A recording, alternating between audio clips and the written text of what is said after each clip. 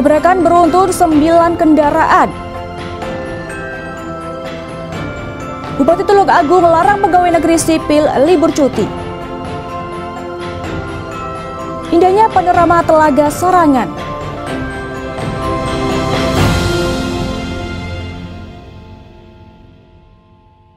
Selamat pagi saudara, apa kabar Anda hari ini? Selain ketiga informasi tadi, rangkuman peristiwa dan sejumlah berita menarik lainnya akan kami hadirkan untuk mengisi rangkaian berita Kompas Madiun hari ini. Selama 30 menit ke depan bersama saya Happy Fabiola, inilah Kompas Madiun selengkapnya.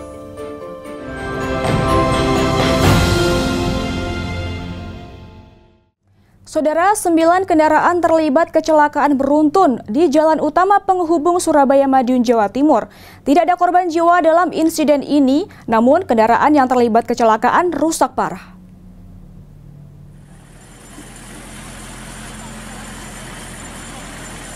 Satu persatu dari sembilan mobil yang terlibat kecelakaan beruntun selasa siang, ini dievakuasi petugas menggunakan mobil derek. Kecelakaan beruntun yang melibatkan 8 mobil dan satu truk ini terjadi di jalan utama penghubung Surabaya Madiun, tepatnya di Kecamatan Balerejo, Kabupaten Madiun, Jawa Timur.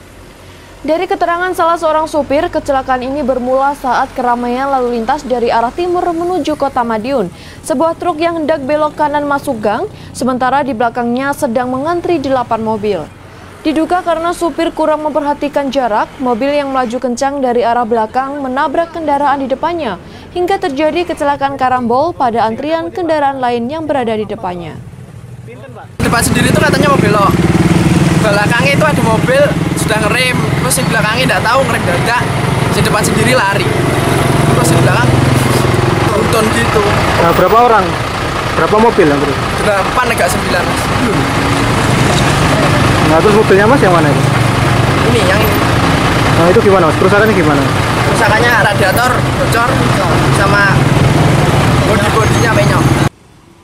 Tidak ada korban jiwa dalam kejadian ini. Sementara seluruh supir dan penumpang kendaraan sempat dimintai keterangan di Mapolsek setempat. Ada kendaraan truk yang hendak mau berbelok ke arah kanan yang tidak diketahui nomornya dan di belakangnya sudah tahu berhenti. Karena belakangnya yang lain kurang jaga jarak. Makanya terjadi kecelakaan beruntun. Dan korban sementara tidak ada. Sampai saat ini hanya kerugian material saja. Berapa mobil dan yang terlibat? kurang lebih 8 mobil. Sekarang kondisinya mobilnya seperti apa? kondisinya mobilnya ya rusak. Semuanya baik belakang depan belakang mengalami kerusakan hanya korban material tidak ada korban manusia Kecelakaan ini masih dalam penanganan Satuan Lalu Lintas Polres Madiun. Akibat kejadian ini, arus lalu lintas di jalan utama penghubung Surabaya Madiun sempat mengalami kemacetan hingga 1 km. Tim Liputan Kompas TV Madiun, Jawa Timur. Saudara kecelakaan lalu lintas juga terjadi di Ponorogo, Jawa Timur. Diduga akibat hilang kendali saat melaju dengan kecepatan tinggi, minibus jenis Elf syarat penumpang menabrak minibus yang melaju di depannya.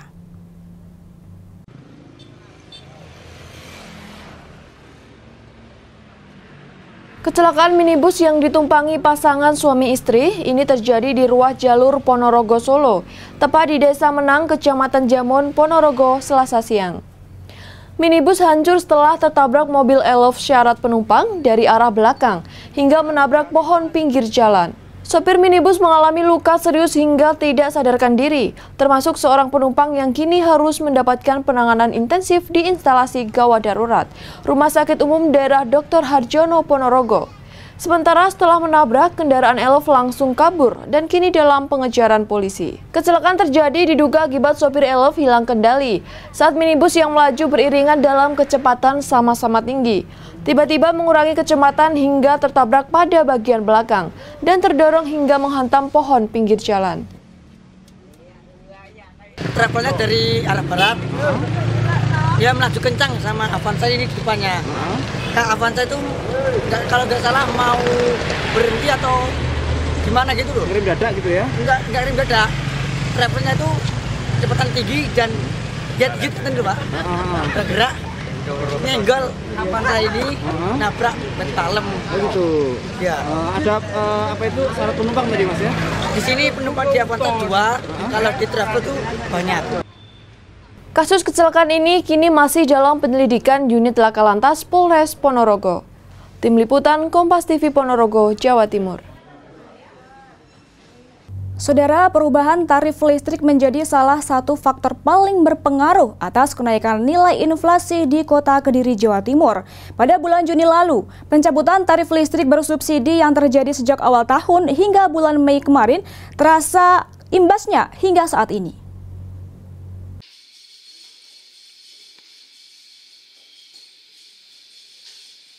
Perubahan tarif listrik untuk rumah tangga dengan daya 900 volt ampere sudah terjadi sejak awal tahun ini. Perubahan tersebut dilakukan secara bertahap mulai Rp605 per kWh menjadi Rp791.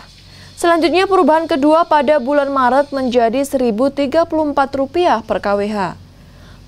Perubahan terakhir terjadi pada bulan Mei menjadi Rp1.352 per kWh. Dampak perubahan tarif ini mulai dirasakan oleh pelanggan bulan Juli. Berdasarkan data Badan Pusat Statistik Kota Kediri, perubahan tarif tersebut juga menyebabkan tingginya angka inflasi di Kota Kediri yang mencapai 0,44 persen. Sebab pada penggunaan listrik pasca bayar, pelanggan harus membayar pada bulan Juni yang bersamaan dengan momentum Ramadan dan Idul Fitri. Komoditi inilah yang menjadi faktor paling berpengaruh terhadap tingginya angka tersebut.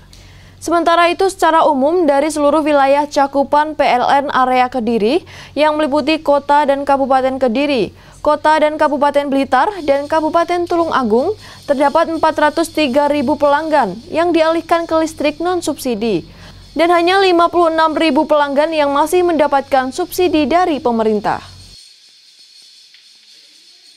Dengan adanya perubahan nilai harga khususnya untuk rumah tangga yang non subsidi non subsidi itu yang dari 900 itu kita lihat atau kita cek perilaku pemakaian pelanggan dari sisi KWH tidak banyak perubahan.